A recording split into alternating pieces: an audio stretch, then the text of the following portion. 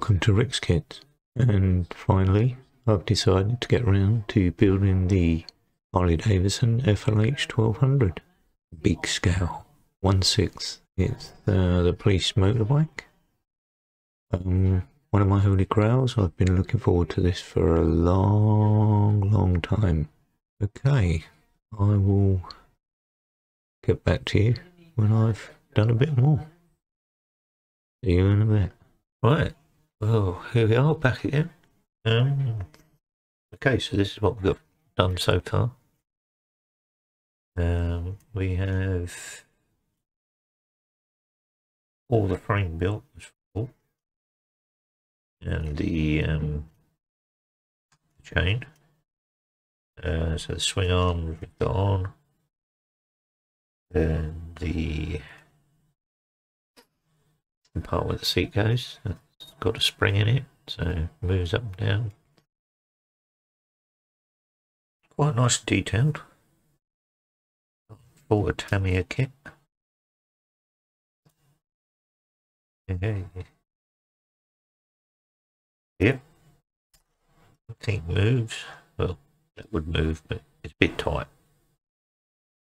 Uh, next steps in this build there.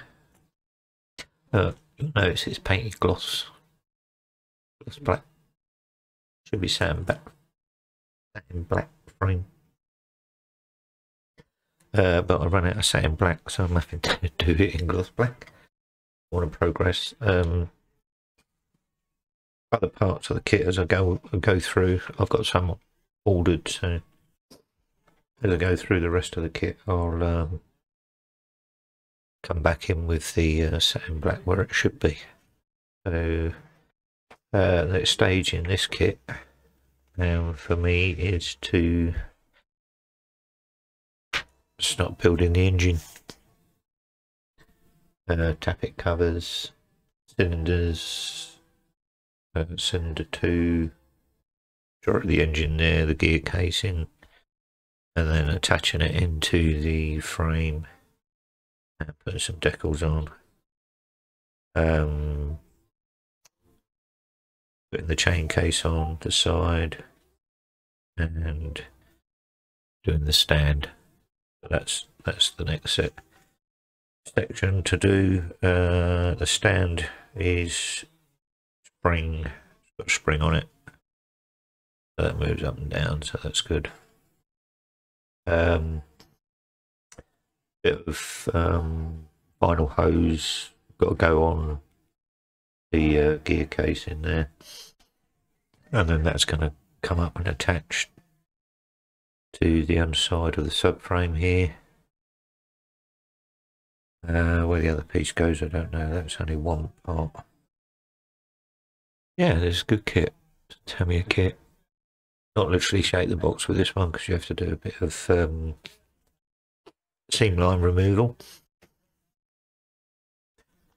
And then moving on from, it's not going to be in this video by the way, uh, it's going to be in the next one. But moving on from there, uh, we've got brake pedals and um, then it moves into the rear fenders. So end of the framework really sort of stops there then you've got all the batteries and things that all the other bits and pieces go on. If you want to see a lighted version of this done, then you should go to uh, Seamy's BMW. He built this kit and lit it up. Um, that's well worth the watch. Got a couple of videos on there. He likes lighting up his kits. Um,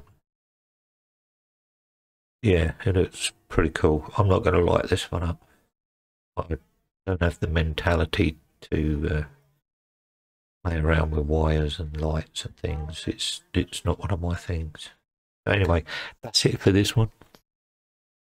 Uh, thanks for watching this update. Well, this intro stroke update. I do appreciate. excuse me. I do appreciate you guys uh, supporting me. Um, so yes, Thank you very much for all my all you guys that have subscribed and support me. Um, I have posted another video this weekend as well. Is my um, heavy armor and uh, heavy guns group build, which is done by Marcus at Scale Models and Joachim at your Jordan model bow. Um, it's it's a red knight. So take a look at that one as well. You uh, you'll need to looking at that. So thank you for watching. See you in the next one. Happy modelling for all those Americans that support me. Happy Thanksgiving weekend.